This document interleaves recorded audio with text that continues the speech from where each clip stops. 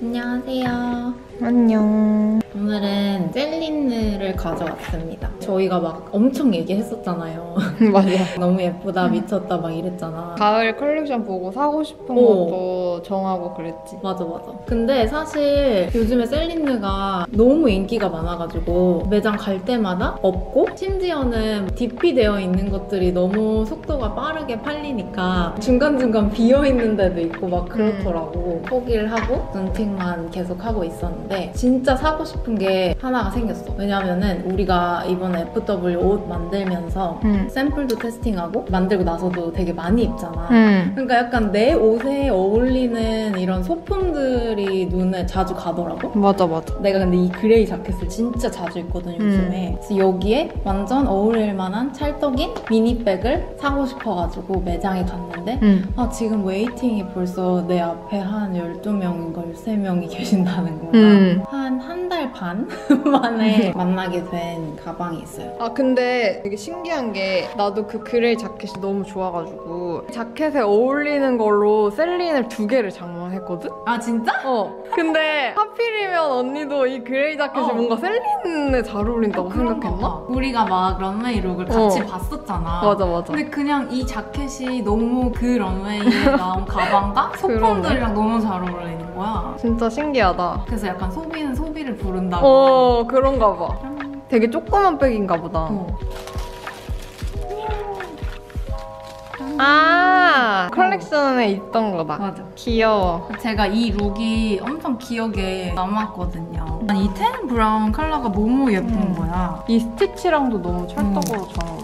그리고 이 우리 자켓 색감이랑 너무 잘 음. 어울리잖아. Triomphe가 볼록하게 튀어나와 있는 형태인데 빈티지 백 중에도 이렇게 돼 있는 백들이 음. 있거든? 그래서 또 빈티지스러운 느낌도 맞아. 있지 않아? 아, 나 이거 잘 못하는데. 처음에는 엄청 빡빡해가지고 잘 안 되더라고. 아, 이게 양면으로도 멜 수 있어? 응. 대박이다. 왜냐면 앞뒤가 같아. 오. 디자인이 완전. 우와. 로고도 다 앞뒤로 바뀌었고 우와. 이렇게 너무 짧게 귀여워. 메고 싶었어. 펄스지만 그래도 미니백 정도 사이즈는 돼. 정도의 사이즈는 되고 수납이 그냥 안에 통으로 이렇게 다 넣을 수 있어가지고 응. 핸드폰은 들어가나? 매장에서 핸드폰은 들어간다고 하셨거든. 잠그기가 약간 없겠다. 안 잠그면 되지 뭐. 그때는 내가 케이스를 엄청 얇은 걸 끼고 있었거든. 음. 근데 뭐 이렇게 다녔어. 어때요? 자켓이랑 잘 어울리나요? 완전 잘 어울리고 이렇게 동그랗게 생긴 탬버린백 같은 것들이 좀 있잖아. 음. 근데 셀린은 옆으로 둥근 모양인 게 되게 특이한 점인 것 같아. 맞아. 그 나는 이게 좀 더 단단해서 좋은 것 같아. shape이 딱 잡혀 있는 게 너무 예쁜 것 같아. 텐 색깔은 여름에도 잘 메고 가을에도 맞아. 잘 메고 겨울에도 잘 메니까 시즌에 상관없이 멜 수 있을 것 같아. 네, 코트에도 잘 어울려. 음. 이게 또 갈색 코트라서 약간 톤앤톤으로 그니까. 귀엽게 잘 어울리는 것 같아. 너무 예뻐. 너무 귀엽다. 너무 귀여워. 이렇게 입고 다니면 되겠다.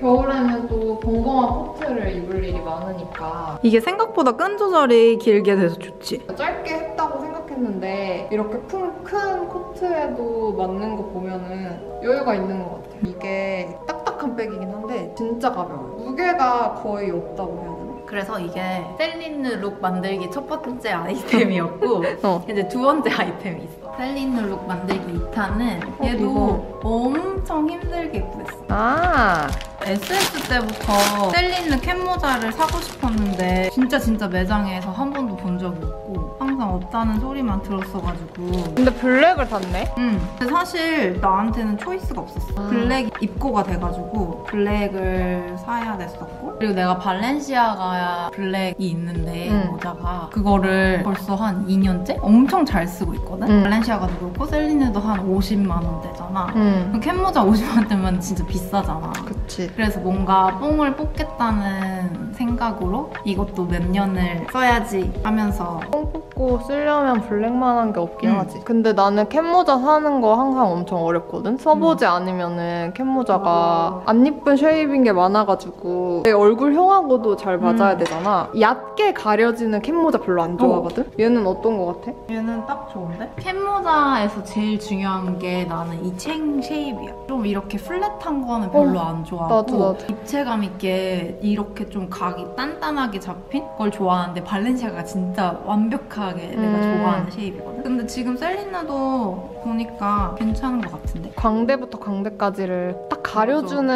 음. 모자여야 모자를 쓴 의미가 있다고 어. 해야 되나? 내가 화장을 안한 맞아. 날에도 어느 정도는 이제 어. 가려줘야 되는데 이게 flat하면은 그냥 이렇게 벌치는 어, 그런 느낌. 힙합. 어, 그래서 이자벨 마랑이 딱 대표적으로 좀 플랫한 맞아. 걸쳐야 예쁜 모자고 음. 이런 거 그냥 푹 눌러 쓰면은 내 음. 얼굴이 가려지는 천이 부드럽네. 어 생각보다 얇다.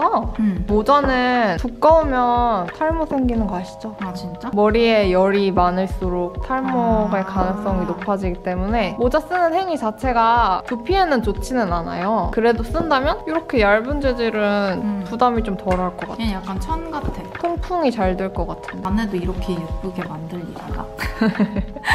네이비 이런 거는 수량이 더 적게 들, 입고 돼서 음. 엄청 구하기 힘들다고 하더라고. 이제 하나가 더 있어. 이제 머리 했고 가방 했고 좀 밑부분에 이제 또 아이템을 하나 장착해줘야 되잖아. 얘는 사실 이미 내가 꺼냈기 때문에 보여줄게. 올해는 첼시 부츠를 하나 사야겠다 생각했는데 얘가 딱 내 사이즈가 하나가 남았다는 거야. 음. 그래서 또 막 하나 남았다 그러면은 난 항상 그게 진짜 문제인 것 같아. 이 끝에 셀린 Triomphe 로고 귀엽게 들어가 있어. 이건 되게 특이하게 앞에도 여기 있어. 앞에는 셀린 로고. 얘는 트리오.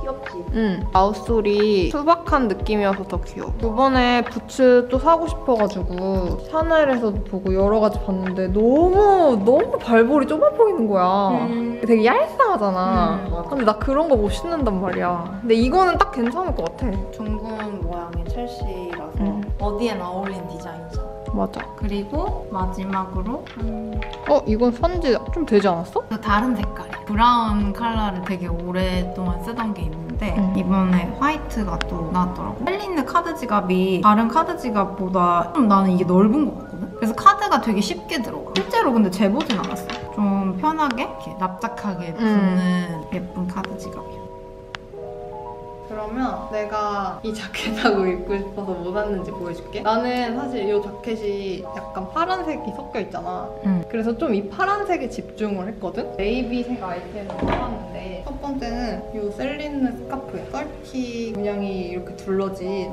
셀린 스카프인데 이건 빈티지로 구매를 했거든? 이거는 그냥 티셔츠 입고 가을에 자켓 입고 이렇게 두르면 예쁠 것 같아서 샀거든. 여기에 파란색이 섞여 있어서 이게 되게 잘 어울리지 않아?